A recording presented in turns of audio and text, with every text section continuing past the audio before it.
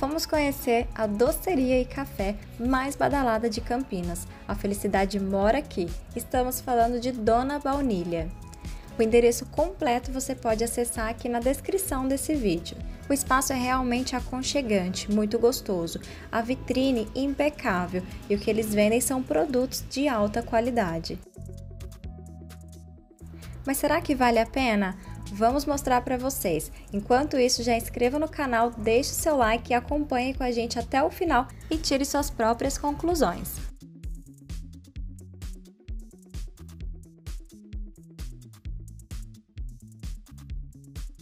Essa foi a parte que mais me surpreendeu. Essa vitrine de doces e sobremesas realmente é incrível. Eu gosto muito, então aqui realmente é um prato cheio para os nossos olhos. Fica até difícil escolher, mas fizemos algumas opções para mostrar para vocês. O local é bem interessante e também conta com espaço externo. Sabe o que isso significa? Aqui o seu pet é bem-vindo. Eles têm o espaço pet friendly, então você pode trazer o seu amiguinho junto com você.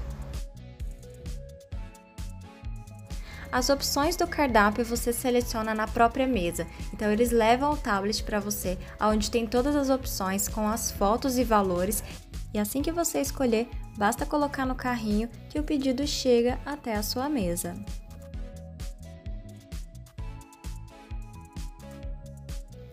Este foi o nosso primeiro pedido, uma torta de frango com bacon e catupiry, estava realmente incrível. A massa muito gostosa, o tamanho serve muito bem para uma pessoa e ela estava incrivelmente bem temperada. No ponto, com certeza voltaríamos por essa torta. E pedimos ainda uma Coca Zero para complementar o nosso café.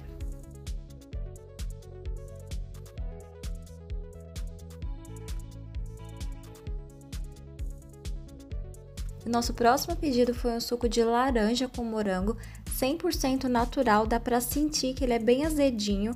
E para complementar o meu lanche, eu pedi um croissant na chapa com catupiry. Talvez a minha escolha poderia ter sido um café, um cappuccino, uma bebida quente. Eu acho que combinaria mais com essa escolha do croissant mas o sabor estava incrível. Ele é muito leve, muito macio, não fica enjoativo. Eu pensei que por vir bastante catupiry ele se tornaria pesado, mas não, pelo contrário, me surpreendeu. Também voltaríamos por essa escolha.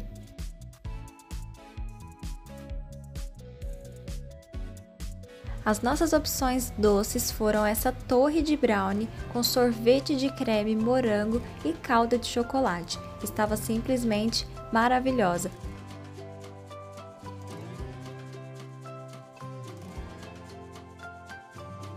E essa foi a nossa segunda opção, um doce italiano feita com massa folhada, carolinas recheadas com creme patisserie e merengue italiano, além de caramelo.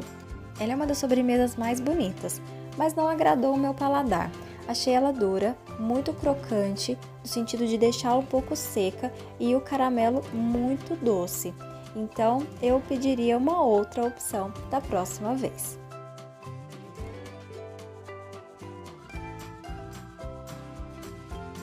Ah, e sabe o que é melhor? Se você gostou dessas delícias, você ainda pode levar para sua casa. Tem uma vitrine inteira para você escolher, além de doces, macarrons, cookies e outros biscoitinhos também.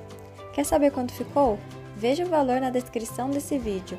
Esse é o Passeio Gastronomia pelo Brasil. Se você gostou, não esqueça de deixar o seu like, inscrever no canal para receber novas dicas e futuros vídeos. Até logo, tchau!